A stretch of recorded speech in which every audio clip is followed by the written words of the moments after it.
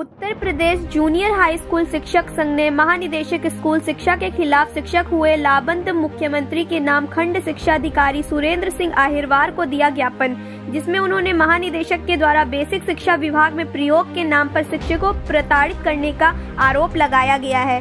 ज्ञापन देने वालों में ब्लॉक अध्यक्ष सत्य प्रताप सिंह, महामंत्री सुखपाल सिंह, आकाश दीक्षित, संजीव दुबे, अशोक यादव, उषा राठौर, निशा कुमारी, प्रिय कुमारी, शुभम गुप्ता आदि शिक्षक मौजूद रहे। अयोध्या टाइम, अलीगंज एटा, सुनील गुप्ता के साथ मैं नैन्सी गौतम। हमारे चैनल को लाइक करें, शेयर करें और सब्सक्राइब करें।